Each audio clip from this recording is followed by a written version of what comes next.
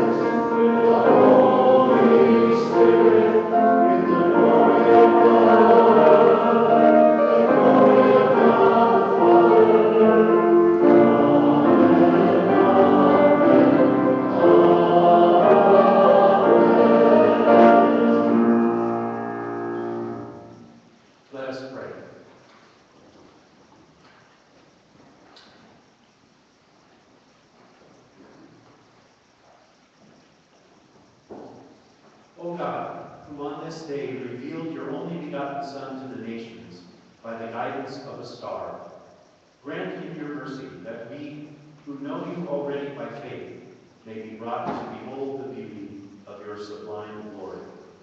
Through our Lord Jesus Christ, your Son, who lives and reigns with you in the unity of the Holy Spirit, one God forever and ever.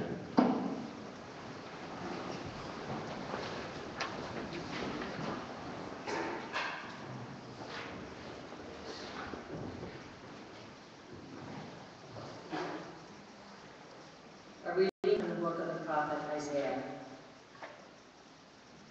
Rise up and splendor, Jerusalem. Your light has come. The glory of the Lord shines upon you.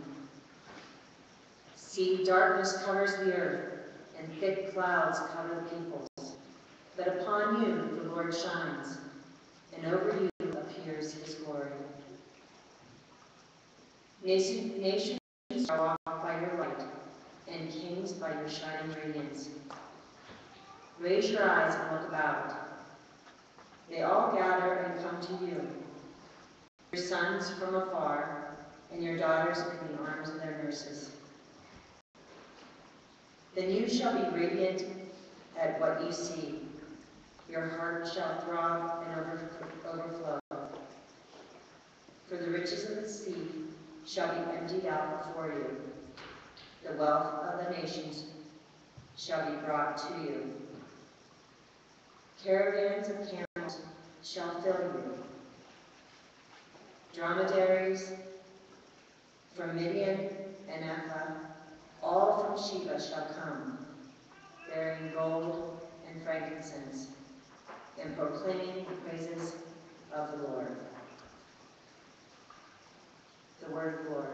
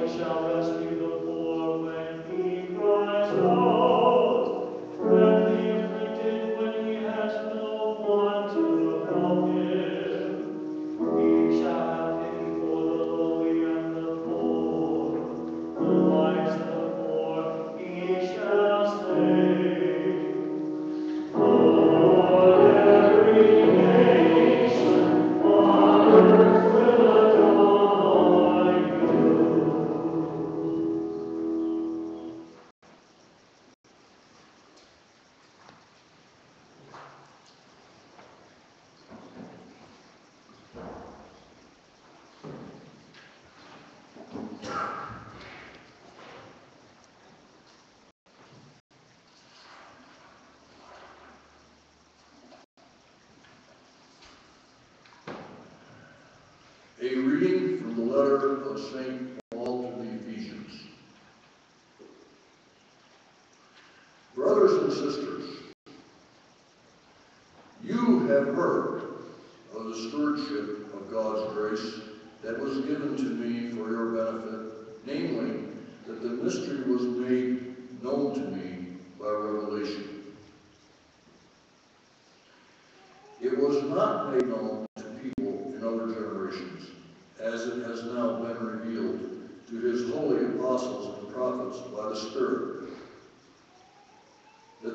tribes are co-heirs, members of the same body, and co-partners in the promise in Jesus Christ through the gospel. The word of the Lord.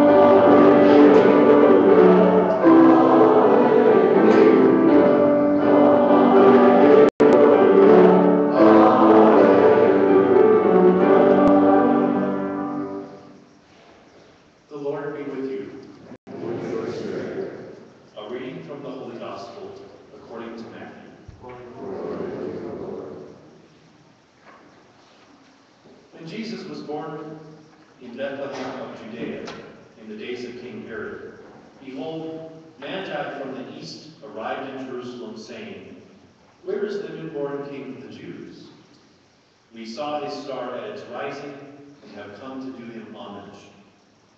When King Herod heard this, he was greatly troubled, and all Jerusalem with him. Assembling all the chief priests and the scribes of the people, he inquired of them where the Christ was to be born. They said to him, In Bethlehem of Judea, for thus it has been written through the prophet, And you, Bethlehem, land of Judah, are by no means least among the rulers of Judah.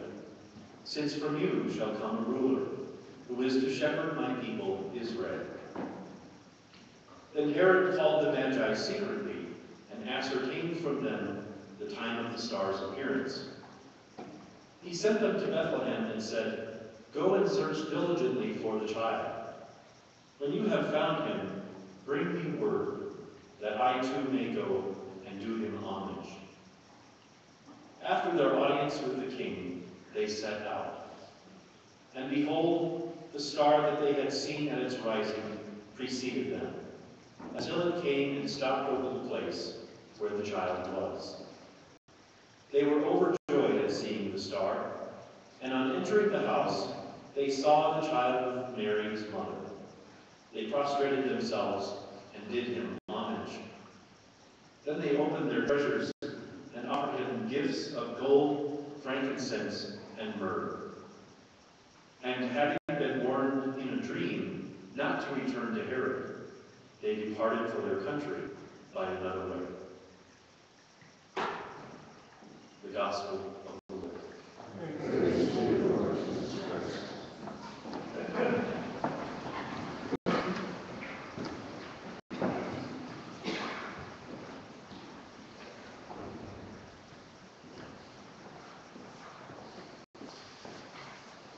In the minds of many people in our culture, religion and science are simply enemies. They're just mutually exclusive attitudes of the mind. Many skeptics hold that religion tried from the very beginning to keep science down, citing such cases as Galileo. That ar- argue that religion is at best a kind of primitive way of thinking, the manner in which ignorant people try to explain mysterious phenomena around them. Now, on this way of seeing things, religion should just get out of the way of the progressive march of the sciences. I want to address that issue today. Um, we know that there was a very well-developed culture of astronomy these days we would call it astrology, but for them it was astronomy, and stargazing in ancient Babylon, the civilization east of the Holy Land. Most likely these stargazing magi were representatives of that culture. They surveyed the heavens in order to measure and chart the planets and stars, but also, as the gospel indicates, to see the signs of God. In their minds, what we call religion and science came together. There was no separation. And these were the scientists of their day, the closest to anything that we might call a scientist. The climax of the story is these magi prostrating themselves before the child Jesus and offering their best gifts of most precious gold, frankincense, and myrrh. Perhaps we could see this as symbolic of science offering its best gifts to the author of the universe. To me, it shows the right relationship between religion and science. And I hope that you will see that by the end of this. I want to offer some facts that are so often overlooked when viewing this relationship. The modern physical sciences developed out of a Christian thought world. And that was far from accidental. Because if you're an ancient civilization, there's two fundamental conditions for the possibility of science's emergence. Namely, a conviction that the world is not divine, and that the world is intelligible or under, understandable.